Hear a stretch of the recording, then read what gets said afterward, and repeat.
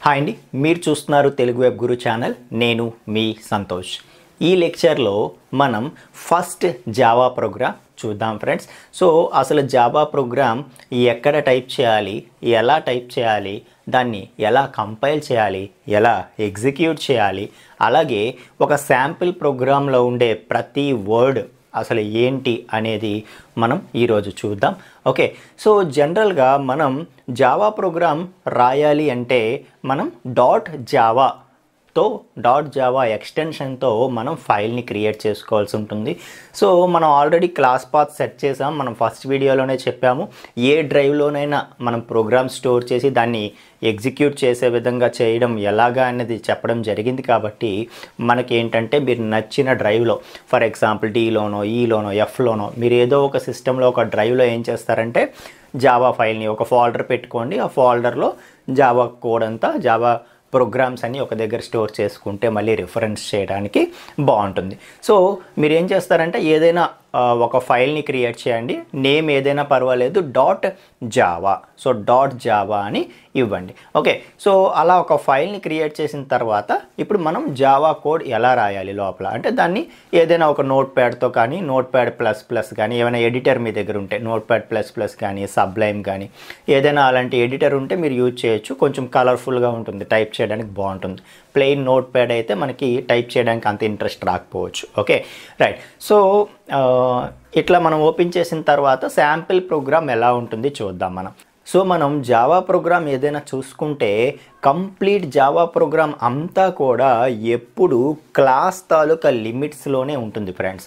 Okay so class మనం declare చేస్తాం కదా ఆ క్లాస్ తాలూకా బౌండరీలోపే ప్రతి లైన్ కూడా ఉంటుంది. ఈ క్లాస్ బౌండరీ దాటి ఒక లైన్ కూడా బయటికి ఉండదన్నమాట.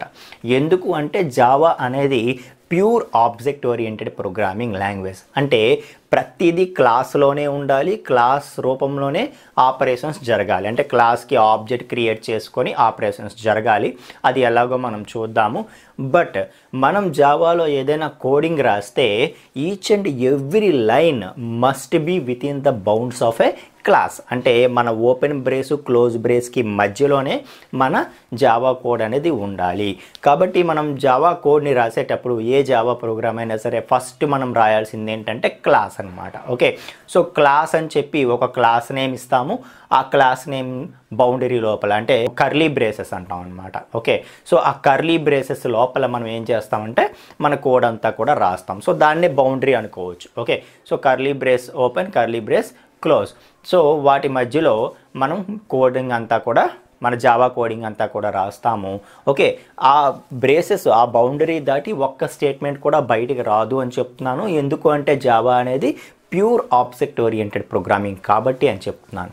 సరే సో క్లాస్ డిక్లేర్ చేసిన తర్వాత మనకి ఇంకొక మెయిన్ ఇంపార్టెంట్ పాయింట్ మనం తెలుసుకోవాల్సింది ఏంటంటే ప్రతి Java program each and every Java program కూడా మనకి దాని ఎగ్జిక్యూషన్ అనేది మెయిన్ మెథడ్ నుండి స్టార్ట్ అవుతుంది. అంటే నీకు జావా ప్రోగ్రాంలో జావా క్లాస్ ఒకటి రాస్తావు కదా ఆ క్లాస్లో మెయిన్ మెథడ్ అనేది ఉంటేనే ప్రోగ్రామ్ ఎగ్జిక్యూషన్ అవుతుంది. ఎందుకంటే జేబిఎం ఎగ్జిక్యూట్ చేస్తుంది కదా మన ప్రోగ్రామ్ని.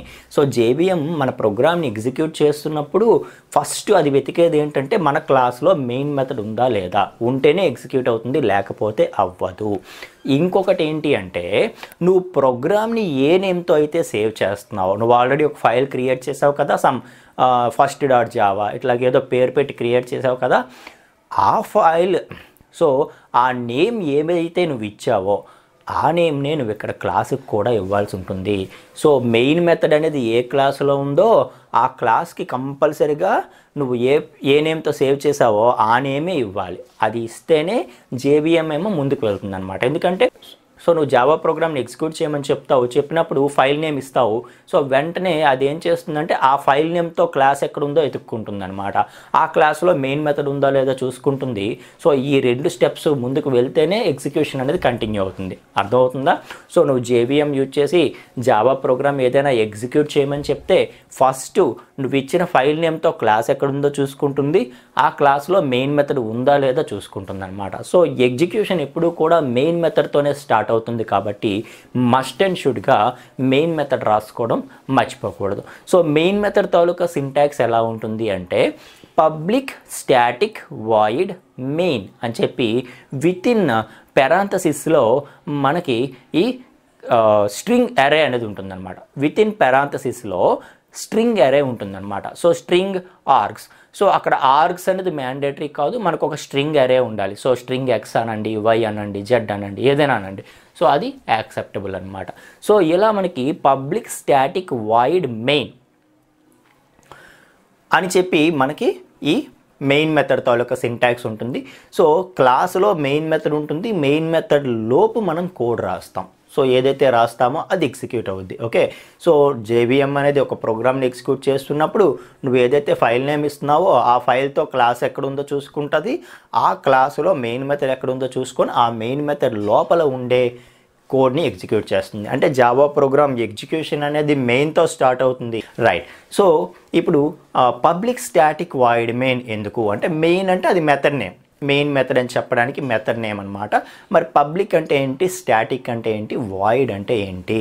అని అంటే పబ్లిక్ అనేది ఏంటంటే ఈ మెయిన్ మెథడ్ ఏదైతే ఉందో దీన్ని మనం పబ్లిక్ చేసేస్తున్నట్టు అనమాట అంటే పబ్లిక్ ప్రాపర్టీ చేసేస్తున్నట్టు పబ్లిక్ యాక్సెస్ ఇస్తున్నట్టు. ఓకే? సో జేబిఎం ఎక్కడో బయట ఉంది. ఎక్కడో బయట ఉండే జేబిఎం ఒక క్లాస్ లోపల ఉండే మెయిన్ మెథడ్ని టచ్ చేసి దాన్ని ఎగ్జిక్యూట్ చేయాలి. అర్థమైందా? సో అది పబ్లిక్ ప్రాపర్టీ కాకపోతే దాన్ని టచ్ చేయలేదు కదా జేబీఎం అందుకు మనకి ఇక్కడ ఏంటంటే జావాలో ప్రతిదీ సెక్యూరిటీయే ఓకే? సో నువ్వు పబ్లిక్ నువ్వు కరస్పాండింగ్ యాక్సెస్ దానికి ఇస్తేనే ఏదైనా యాక్సెస్ అవుతుంది లేకపోతే యాక్సెస్ అవ్వదు. అయితే మరి పబ్లిక్ ఇస్తే సెక్యూరిటీ పోద్ది కదా అని అనుకోవద్దు. ఫస్ట్ మనకి ఎగ్జిక్యూషన్ స్టార్ట్ అవ్వాలి కాబట్టి మెయిన్ మెథడ్ని పబ్లిక్ చేస్తాము. ఆ తర్వాత లోపల ఎక్కడెక్కడ సెక్యూరిటీస్ మనం ఇవ్వాలో అవన్నీ ప్రైవేట్ చేసుకుంటాం ప్రొటెక్టెడ్ చేసుకుంటాం. అదంతా నెక్స్ట్ క్లాసెస్లో మనం చూస్తాం. అయితే ఇప్పటికీ ఏంటి మనం తెలుసుకోవాల్సింది అంటే జేబిఎం ఎక్కడో బయట ఉండే జేబిఎం ఒక క్లాస్ లోపల ఉండే మెయిన్ మెథడ్ని టచ్ చేయాలంటే కంపల్సరిగా ఆ మెయిన్ మెథడ్ అనేది పబ్లిక్ అవ్వాలి. అలా పబ్లిక్ చేయడానికి మనం పబ్లిక్ అనే కీవర్డ్ని యూజ్ చేస్తున్నాం. ఇంకొకటి ఏంటి అంటే ఒక క్లాసులో ఉండే ఒక క్లాసులో జనరల్గా ఏముంటాయంట? వేరియబుల్స్ ఉంటాయి మెథడ్స్ ఉంటాయి. మనం క్లాసు ఆబ్జెక్ట్ చెప్పుకున్నప్పుడు ఇంకొంచెం డీప్గా చెప్పుకుందాం. అయితే ఒక క్లాసులో ఉండే వేరియబుల్ని కానీ మెథడ్ని కానీ ఇంకొకరు టచ్ చేయాలి అని అంటే బయట ఉండే క్లాస్ కావచ్చు మరొకరు కావచ్చు టచ్ చేయాలి అని అంటే ముందు ఈ క్లాస్కి ఒక ఆబ్జెక్ట్ క్రియేట్ చేసుకోవాలి. ఓకే? సో ఒక క్లాసులో ఉండే వేరియబుల్ని కానీ మెథడ్ని కానీ టచ్ చేయాలంటే ఎవరైనా టచ్ చేయాలంటే ముందు ఈ క్లాస్కి ఒక ఆబ్జెక్ట్ క్రియేట్ చేసుకోవాలి. ఆ ఆబ్జెక్ట్ ద్వారా మనం ఆ వేరియబుల్ని కానీ ఆ మెథడ్ని కానీ టచ్ చేయాలి. సో ఎందుకు అనేది కూడా నేను నెక్స్ట్ నెక్స్ట్ చెప్తాను. ఇప్పుడు మాట్లాడితే మనకు అంత క్లారిటీ రాదు. ఓకే రైట్ సో ఇప్పుడు ఈ కాన్సెప్ట్ వరకు అర్థం చేసుకోండి. సో పబ్లిక్ చెప్పాను ఎందుకో ఇప్పుడు స్టాటిక్ ఎందుకు రాసాము అన్నది చెప్పబోతున్నాను. ఓకే సో జనరల్గా ఒక క్లాసులో ఉండే ఒక వేరియబుల్ని కానీ ఒక మెథడ్ని కానీ మనం టచ్ చేయాలి అని అంటే ముందు ఆ క్లాస్కి ఒక ఆబ్జెక్ట్ క్రియేట్ చేసుకోవాలి. అలా ఆబ్జెక్ట్ క్రియేట్ చేసుకుంటేనే దాన్ని మనం టచ్ చేయగలము. లేకపోతే టచ్ చేయలేము. కానీ కానీ ఒక మెథడ్ని కానీ వేరియబుల్ని కానీ అలా ఆబ్జెక్ట్ క్రియేట్ చేయకుండా టచ్ చేయాలి అని అంటే మనం దాన్ని స్టాటిక్ చేయాలి. సో ఎక్కడో బయట ఉండే జేవిఎం ఈ క్లాస్కి ఆబ్జెక్ట్ క్రియేట్ చేయకుండానే ఈ క్లాస్లో ఉండే మెథడ్ని యాక్సెస్ చేయాలని చూస్తోంది కాబట్టి అలా ఈ మెథడ్ని మనం యాక్సెస్ చేయడానికి ఛాన్స్ ఇవ్వాలి కాబట్టి మనం ఏం చేస్తామంటే స్టాటిక్గా డిక్లేర్ చేస్తాం. సో స్టాటిక్ చేయడం వల్ల ఏమవుతుందంటే మన క్లాస్కి ఆబ్జెక్ట్ క్రియేట్ చేయకుండానే మన క్లాస్లో ఉండే మెయిన్ మెథడ్ని జేవిఎం ఎగ్జిక్యూట్ చేయగలుగుతుంది అన్నమాట ఓకే అలాగే వాయిడ్ అనేది ఏం చెప్తుందంటే మన మెథడ్లో ఏదైనా వాల్యూ రిటర్న్ అవుతుందా బయటికి. ఓకే సో ఒక వాల్యూ రిటర్న్ అయితే అప్పుడు మనం వాయిడ్ రాయం. ఫర్ ఎగ్జాంపుల్ ఏదైనా ఒక ఇంటిజర్ టైప్ వాల్యూ నెంబర్ కానీ మనం రిటర్న్ చేస్తున్నాం అనుకో అప్పుడు అక్కడ వాయిడ్ బదులుగా ఇంట్ రాసుకోవాలి.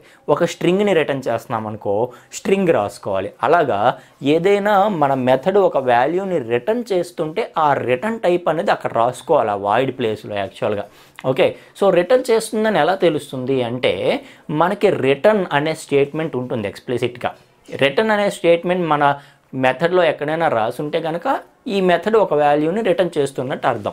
అసలు ఏమీ రిటర్న్ అనే స్టేట్మెంట్ రాయకపోతే మనం ఏమీ రిటర్న్ చేయట్లేదు అని అర్థం అనమాట అలా ఇందులో రిటర్న్ అన్న స్టేట్మెంట్ ఏమీ లేదు కదా. సో అంటే దాని అర్థం ఏంటి? ఈ మెథడ్ ఏమీ రిటర్న్ చేయట్లేదు ఒక మెథడ్ ఎప్పుడైతే దాంట్లో రిటర్న్ స్టేట్మెంట్ లేదో ఏమీ రిటర్న్ చేయట్లేదో అప్పుడు మనం రిటర్న్ టైప్ ఏం సెట్ చేయాలి? వాయిడ్ అని సెట్ చేయాలన్నమాట. సో వాయిడ్ ఏం చెప్తుందంటే it does not returns any value so ఏదైతే మెథడ్ ఉందో ఆ మెథడ్ ఏమీ రిటర్న్ చేయట్లేదు. మహా అయితే ఏవో స్టేట్మెంట్స్ ప్రింట్ చేస్తుంది ఏవో ఆపరేషన్స్ పెర్ఫామ్ చేస్తుంది తప్పితే రిజల్ట్ని రిటర్న్ చేయట్లేదు అని చెప్తుందనమాట సో అలాగా మెథడ్ ఇప్పుడు మెయిన్ మెథడ్ ఎప్పుడు ఏమీ రిటర్న్ చేయదు కాబట్టి మనం వాయిడ్ పెట్టుకుంటాం. ఇంకా మెయిన్ అనేది మీకు చెప్పాను. అలాగే స్ట్రింగ్ అరే ఎందుకు ఆ స్ట్రింగ్ అరే ఉంచాడు అని అంటే ఏ పర్పస్ మీద ఉంచాడు అంటే మన ప్రోగ్రామ్కి ఏదైనా ఇన్పుట్ పాస్ చేసి ఫర్ ఎగ్జాంపుల్ కొన్ని వాల్యూస్ మనం ఈ ప్రోగ్రామ్కి పాస్ చేసి ఆ మెయిన్ మెథడ్లో ఆ వాల్యూస్ అన్ని మనం యూజ్ చేయాలి అని అనుకుంటే అంటే ఈ మెయిన్ మెథడ్కి ఏదైనా ఇన్పుట్ మనం పాస్ చేసి వాటి మీద ఆపరేషన్స్ పెర్ఫామ్ చేయాలి అని అనుకుంటే అప్పుడు ఆ ఇన్పుట్ అంతా స్టోర్ చేయడానికి ఒక ఏరియా కావాలి కదా. అది ఆ స్ట్రింగ్ ఎరే అనమాట ఓకే సో స్ట్రింగ్ ఎరే ఎందుకు ఉంచాడు? మనం మన ప్రోగ్రాంలో ఉండే మెయిన్ మెథడ్కి ఏమైనా వాల్యూస్ పాస్ చేయొచ్చు. ఎలా చేయాలో నేను చెప్తాను నెక్స్ట్ క్లాసెస్లో ఓకే సో మన ప్రోగ్రామ్కి ఏదైనా ఇన్పుట్ కొన్ని వాల్యూస్ పాస్ చేసి ఫర్ ఎగ్జాంపుల్ ఒక త్రీ వాల్యూస్ పాస్ చేసి ఆ త్రీ వాల్యూస్ని ఎడిషనో సబ్ట్రాక్షనో ఈ లోపల రాసుకున్నట్టు. ఓకే సో డైనమిక్గా ఏ వాల్యూస్ పంపిస్తుంటే ఏ త్రీ వాల్యూస్ పంపిస్తుంటే వాటి ఎడిషన్ రావాలి. అలాగా మనం ఏదైనా ఇన్పుట్ పాస్ చేసి ఆ ఇన్పుట్ని ఈ లోపల మనం యూజ్ చేయాలి అని అనుకుంటే ఏ లోపల? మెయిన్ మెథడ్ లోపల యూజ్ చేయాలని అనుకుంటే ఆ ఇన్పుట్ని స్టోర్ చేయడానికి ఒక ప్లేస్ కావాలి కదా. ఆ ప్లేసే మనకి స్ట్రింగ్ అరే అనమాట సో అలా మనకి పబ్లిక్ పబ్లిక్ చేయడానికి స్టాటిక్ ఆబ్జెక్ట్ క్రియేట్ చేయకుండానే యాక్సెస్ చేయడానికి వాయిడ్ ఏమీ రిటర్న్ చేయట్లేదు అని చెప్పడానికి మెయిన్ మెథడ్ నేమ్ స్ట్రింగ్ అరే ఇన్పుట్ని స్టోర్ చేయడానికి. ఇలా మనం యూజ్ చేస్తాం.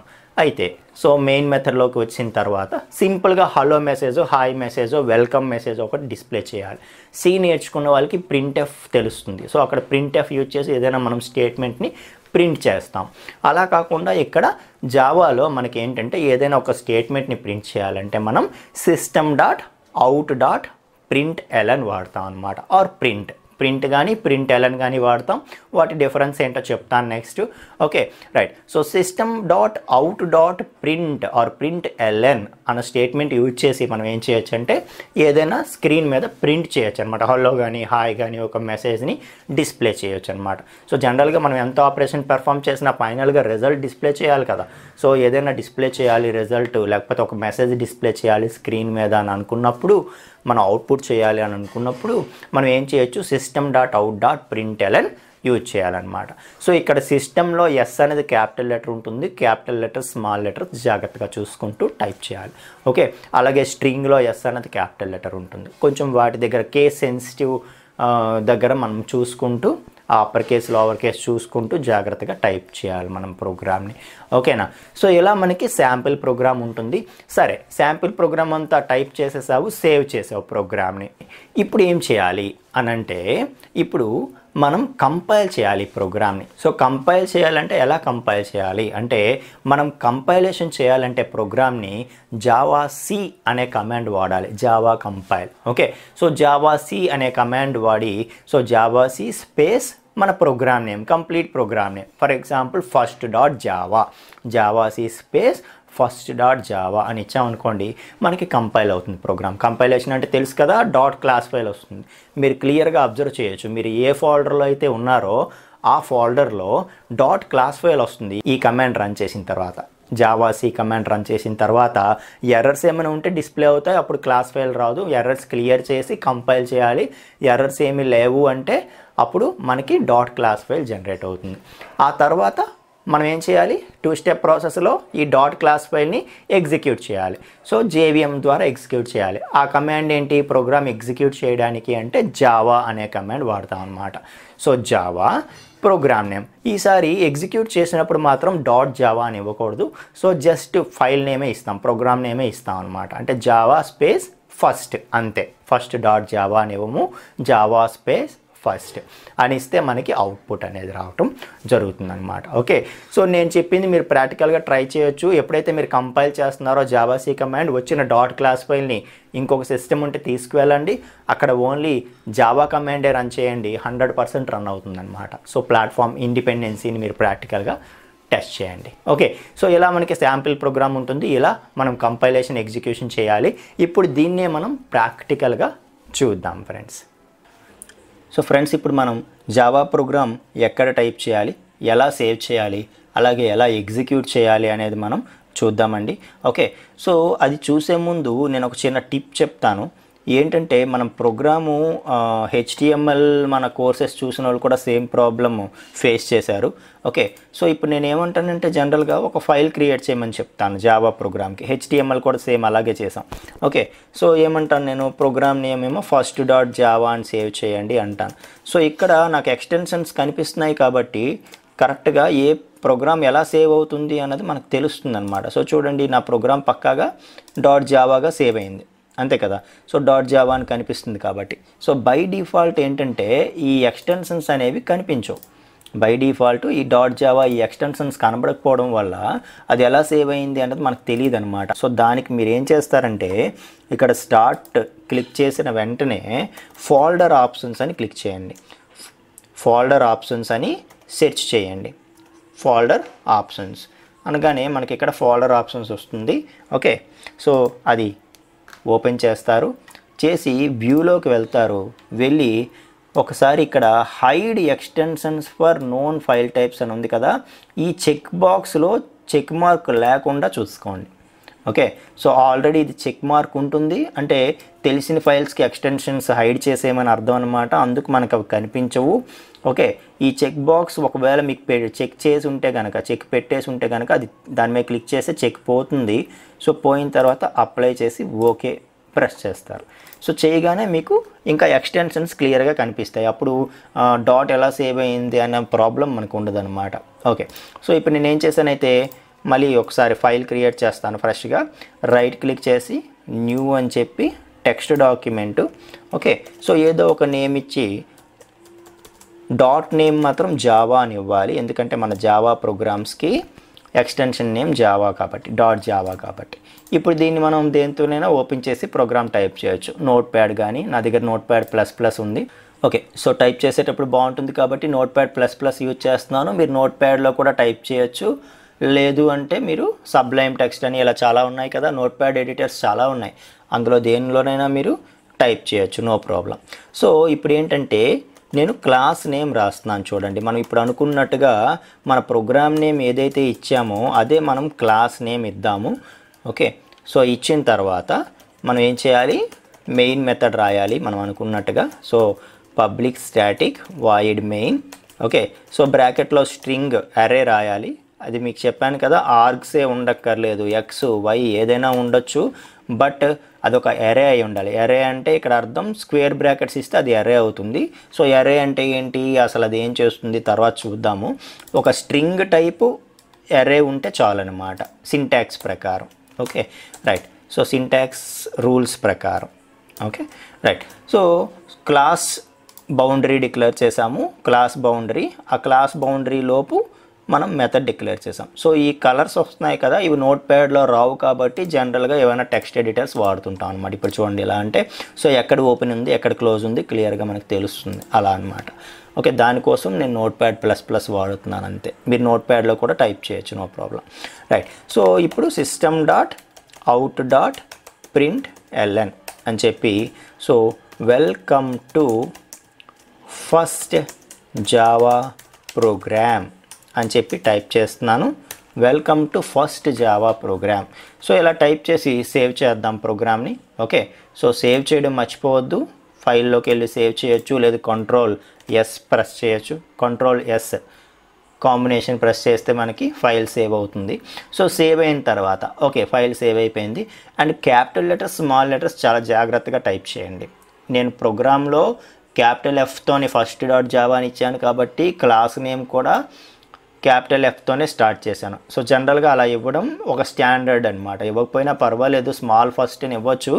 కాకపోతే వర్డ్లో క్లాస్ నేమ్ కానీ వీటికి ఏంటంటే నేను చెప్తాను రూల్స్ బట్ క్లాస్ నేమ్లో ఫస్ట్ లెటర్ మనం క్యాపిటల్ లెటర్ ఇవ్వడం అనేది ఒక స్టాండర్డ్ అనమాట సో చూడగానే అది క్లాస్ అని తెలుస్తుంది ఎవరికైనా ఎప్పుడైనా సరే ప్రోగ్రాంలో ఓకే?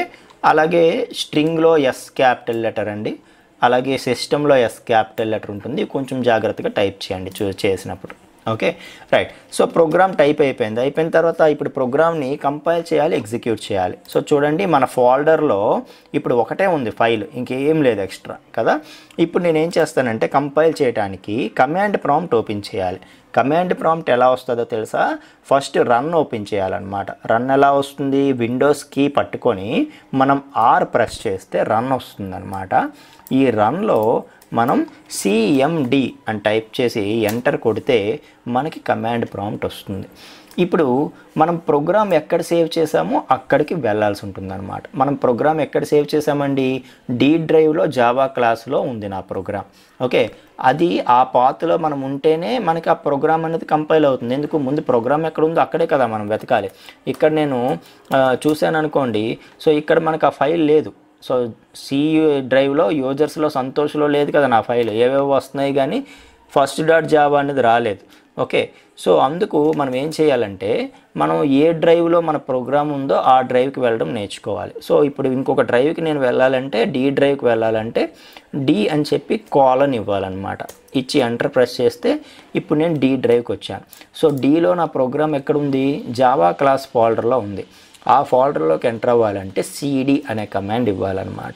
ఓకే? సో సిడి అంటే change directory okay? So CD Java class అన్నాను అనుకోండి సో డిలో జావా క్లాస్లోకి వచ్చాను. ఇప్పుడు నేను డిఐఆర్ ప్రెస్ చేస్తే నాకు ప్రోగ్రామ్ కనిపిస్తుంది. ఫస్ట్ డాట్ జావా అనేది ఇక్కడ ఉంది. ఓకే? రైట్ సో ఇప్పుడు కంపైల్ చేయాలి ప్రోగ్రామ్ని కంపైలేషన్ ఎలాగని చెప్పాను? జావాసీ కమాండ్ అంతే కదా? So javac javac first dot Java అని ఇవ్వాలన్నమాట. So javac first dot Java complete name ఇవ్వాలి కంపైల్ చేసేటప్పుడు. ఓకే సో జనరల్గా ఎంటర్ కొడితే ఏవైనా ఎర్రర్స్ ఉన్నాయనుకోండి మనకు ఆ ఎర్రర్స్ ఇక్కడ డిస్ప్లే అవుతాయి అన్నమాట ఎర్రర్స్ ఏవి లేకపోతే మళ్ళీ మనకి డి డ్రైవ్ ఇది వచ్చేస్తుంది. కమాండ్ ప్రాంప్ట్ డ్రైవ్ ఏదైతే ఉందో అది వచ్చేస్తుంది అనమాట అది వచ్చింది మనకి ఎర్రర్స్ ఏం డిస్ప్లే అవ్వలేదు అంటే మనకి కంపైలేషన్ సక్సెస్ఫుల్ అయిపోయినట్టు. సో చూడండి కావాలని నేను ఏం చేస్తానంటే సెమీకోలం తీసేస్తాను. సో తీసేసి ఎర్రర్స్ చూపించడం కోసం ఎలా ఉంటుంది అని చెప్పి కంపైల్ చేస్తాను. జావాసి ఫస్ట్ డాట్ జావా అని చెప్పి. సో చూడండి మనకి ఏమైంది? ఎర్రర్స్ ఉంటే ఎర్రర్స్ డిస్ప్లే అవుతాయని చెప్పాను కదా. సో చాలా క్లియర్గా చెప్తుంది చూడండి. ఫస్ట్ డాట్ జావాలో ఫస్ట్ డాట్ జావా ప్రోగ్రాంలో సిక్స్త్ లైన్లో ఎర్రర్ ఉంది. సో సిక్స్త్ లైన్లో ఏంటి ఎర్రర్ ఉంది?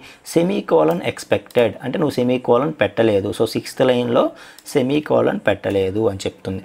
సో పెట్టాము. సో పెట్టిన తర్వాత ఒకసారి చూడండి మనం కంపైల్ చేస్తే ఎర్రర్ వచ్చింది కాబట్టి ఇక్కడ ఇంకేం ఎక్స్ట్రా ఫైల్స్ మనకు రాలేదు.